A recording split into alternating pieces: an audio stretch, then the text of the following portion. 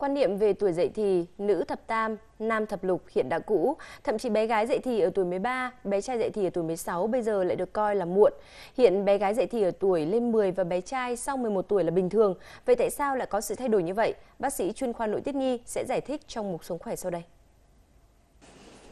Các bác sĩ chuyên khoa nội tiết của Bệnh viện Nhi Trung ương thường xuyên phải giải thích thắc mắc của phụ huynh khi đưa con đến khám về việc tại sao bây giờ bọn trẻ lại dậy thì sớm hơn thế hệ bố mẹ, ông bà chúng trước đây. Và hầu như ai cũng có tâm lý lo lắng vì quá nhiều thông tin về chuyện dậy thì sớm. Lên mạng thì mình thấy rằng có rất nhiều rất nhiều phụ huynh băn khoăn về cái băn khoăn về là trẻ phát triển sớm hầu như là bố mẹ cũng không trả lời được bác sĩ chỉ nói là có nhiều cái sự tác động thôi, chứ không khẳng định là cái gì nó nó nó làm ra những trẻ dậy thì sớm như vậy nhưng bây giờ thì thì do cái chế độ dinh dưỡng tốt hơn thì các bác sĩ cũng nói rằng là cái độ tuổi 10 tuổi trở lên thì nó là phù hợp.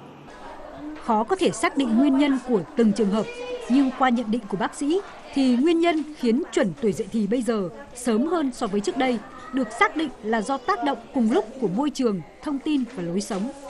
Tôi nghĩ nguyên nhân có tác động bởi, uh, của môi trường rất là nhiều, môi trường của thông tin, có nghĩa là đứa trẻ do dần dần xã hội nó tiếp xúc đài báo, sách vở, internet, phim, video các thứ nó tác động vào. Thêm nữa là tác động bởi các cái chất của môi trường, tác động từ hít khí, ờ, từ tác động của các hóa chất ở xung quanh đứa trẻ, kể cả nước uống, thức ăn và các tác động khác là nó ít hoạt động hơn do vậy nó sẽ nguy cơ nó sẽ tăng cân thừa cân thì thấy tỷ lệ là những đứa trẻ thừa cân béo phì nó dậy thì nhanh hơn so với những đứa trẻ mà không có thừa cân béo phì. Cũng vì qua tìm hiểu được biết trẻ thừa cân béo phì có nguy cơ dậy thì sớm hơn trẻ bình thường mà nhiều mẹ có con gái bị bẫm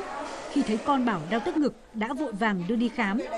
Như trường hợp này, qua các xét nghiệm cần thiết, bác sĩ kết luận không phải dậy thì sớm mà chỉ là có tuyến vú phát triển không phải điều trị, chỉ cần lưu tâm cách chăm sóc con về dinh dưỡng và vận động phù hợp để tránh nguy cơ dậy thì sớm.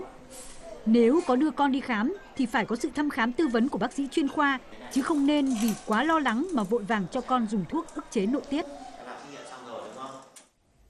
Vậy sự nguy hại của việc tự ý dùng thuốc làm chậm quá trình dậy thì như thế nào, cũng như là cách chăm sóc con ra sao để phòng tránh bị dậy thì sớm là nội dung chúng tôi sẽ tiếp tục đề cập trong mục Sống khỏe ngày mai.